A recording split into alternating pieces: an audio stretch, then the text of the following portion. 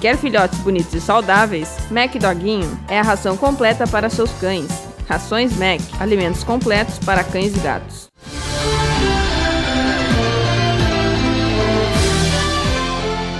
O contribuinte interessado em parcelar o IPVA em três vezes precisa ficar atento.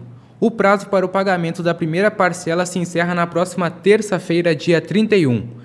Esta é a mesma data limite para quem pretende quitar o imposto com descontos de até 22,4%. Segundo o governo gaúcho, mais de 1,2 milhões de veículos já estão em dia com IPVA deste ano. A expectativa da Secretaria da Fazenda é que mais motoristas façam o pagamento até o final deste mês até mesmo para ajudar na folha de fevereiro dos servidores do Estado.